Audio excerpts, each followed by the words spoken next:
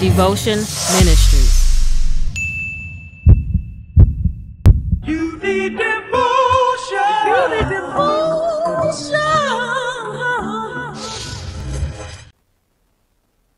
What's the purpose of the church? Is it to argue and debate scripture?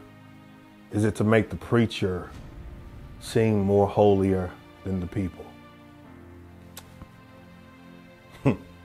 So many times this issue has distant the church from its main mission, and that's the love of God. It is to show love, it is to be love, and it is to receive love.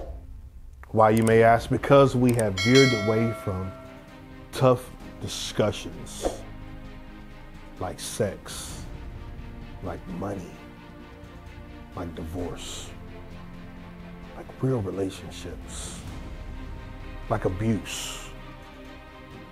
Hmm. but today I want to invite you to the forum where we get facts and opinions in a real and understandable manner. We lay aside the title. We even lay aside our personal triumphs. We talk about the subjects that are tender. Welcome to the forum.